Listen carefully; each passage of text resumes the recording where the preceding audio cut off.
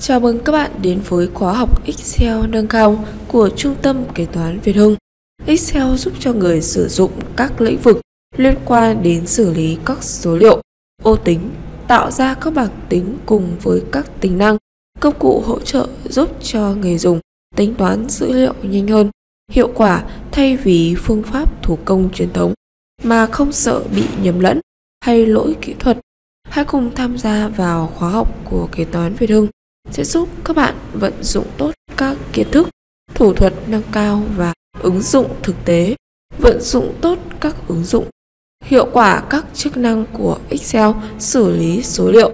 vận dụng thành thạo các loại biểu đồ chuyên nghiệp, vận dụng thành thạo các loại công thức xây dựng hàm tính toán. Và vận dụng hoàn thiện các báo cáo thiết lập các kế hoạch công việc là các nội dung chính khi các bạn tham gia vào khóa học Excel nâng cao của Trung tâm Kế toán Việt Hưng. Ở khóa học này các bạn sẽ được lựa chọn hình thức học online, một giáo viên kèm một học viên. Và hãy tham gia ngay vào khóa học của Trung tâm Kế toán Việt Hưng để được chia sẻ những kiến thức và kinh nghiệm cho các bạn ngay từ hôm nay.